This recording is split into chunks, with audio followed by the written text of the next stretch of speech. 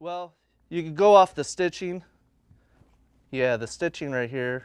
This is a totally fake jersey. This number 15 on field jersey, supposedly by Nike, retailed online for just $40. Of course, Google, you'll have hundreds of companies that come up. But most Sports Authentics owner Rob Kleinen says the jersey's fake. You could see it in some of the patchwork pattern and could never sell with the authentic gear he sells in his Liberty store. If there's someone's advertising online that, hey, I got this jersey, it's a Nike jersey, it's Mahomes, I'm selling it to you for $60.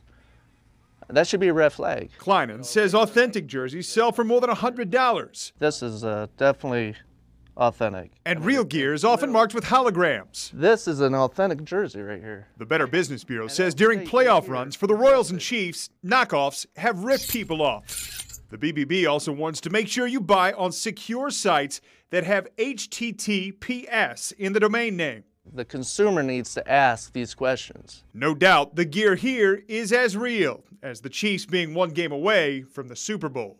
I think we're going to win. The Better Business Bureau has even more tips to make sure you are buying authentic gear, and I've shared those on my KMBC Facebook page.